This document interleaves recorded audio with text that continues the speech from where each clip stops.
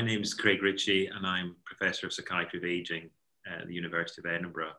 Uh, and I'm also the Director of Brain Health Scotland, as well as being Chair of the Scottish Dementia Research Consortium. Uh, my background has been working both as a clinician, as a psychiatrist, uh, people with Alzheimer's disease and other forms of neurodegenerative disease for, gosh, the last 20, 25 years.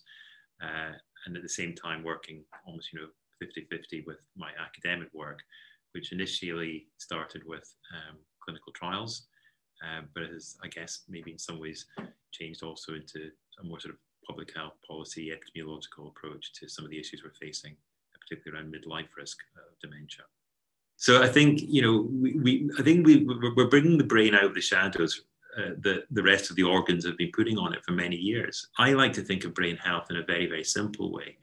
Um, if if one were to maintain a good blood flow, and that blood was full of oxygen and full of the right nutrients, uh, and overnight the the, the, the, the, the waste products that the brain produces during the day are cleared during a great sleep then we'll have a healthy brain. It's that simple. You know, the, the brain's important, and there are things we can do to maintain uh, and promote brain health at an individual level. So we we have, um, you know, witnessed, you know, in the history of medicine where there's uncertainty, and, and the medical profession have, have, have, have not been able to provide, um, you know, credible evidence there's going to naturally spring up a lot of you know theories and, and, and ideas being promoted. Um, and I think that those may be well-meaning or, or, or, may be not so well-meaning around certain dietary interventions that may be helpful, certain, you know, cognitive apps. If you take this, then you won't get dementia. And, and you know, we see these all the time in, in, in the headlines in the newspapers. Um, now, some of them maybe, maybe, maybe, maybe right. We don't know that they're not, but it's it's I think it's for us as dare say responsible uh, clinicians and academics to to do all we can to provide credible evidence. The first rule is do no harm. Um, now, if we can do good, that's fantastic, but we certainly should never be doing anything which is knowingly or potentially harmful without, dare say, consent that we think that the, the, the benefit would outweigh the harm. And, and I think there are things that are being promoted sometimes in terms of nutrition uh, in particular that may actually, if not necessarily be harmful to the brain, they may be harmful to the individual's well-being from costing a fortune, etc. So I, I, I, think it's, it's on us as, as professionals to get credible evidence and communicate that credible evidence in a responsible way. The principles around brain health are identical uh, wherever we live in the world. Uh, what, what, what, what, what, we are more similar to each other than we are different, irrespective of where we live or who we worship or you know how we feel about the, the universe. Um, the principles that I mentioned, the principles of you know good good blood supply, um, you know good nutrition, uh, good oxygen supply, good sleep.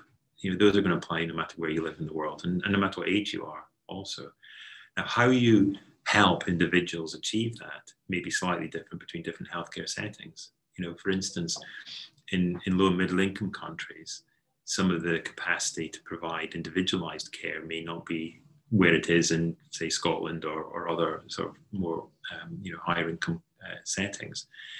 But, it, but, it, but, but, it, but we've also got a huge amount to learn from other countries in the world where maybe they haven't been overly biased towards the medical model and high tech medicine because they can't. They're excellent at public health. So a lot of the public health initiatives that um, we'll be undertaking here in Scotland, for instance, could learn a lot from low and middle income countries because that's main that's the mainstay of what they can they can do to help uh, mitigate uh, disease, particularly chronic disorders.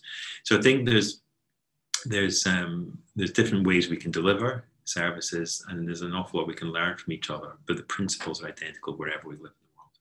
Digital health is, is, is such a, know, massively broad concept. I mean, you, you have everything from, you know, detection methodologies using, you know, um, apps on smartphones, um, but also using, you know, big data sets that may come from, you know, other sources um, that will be indicative uh, of, of, of, changes in brain health. I'm, I'm, I'm thinking particularly about a study recently which looked at, you know, GPS data, Canadian study, uh, and showed that people who are amyloid positive were, you know, taking more turns to, to, to, to, to complete a journey and were also less likely to drive at night. And there was a real world assessment using, you know, GPS data um, that, that indicated maybe there was something uh, untowards with somebody's um, brain health.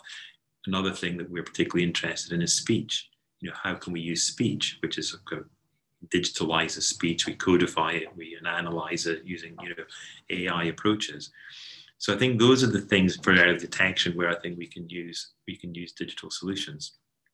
The other thing that I think is is really helpful with the digital world is um, how we can use um, digital support tools for behavioral modification.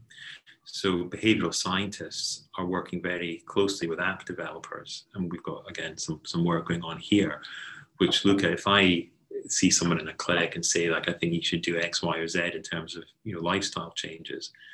If you just leave it there and hope these changes take place, then you're probably going to be uh, dissatisfied. But if you can help support people through through digital solutions to maintain that behavioral modification, then I think that is, is certainly a route that we, we want to pursue.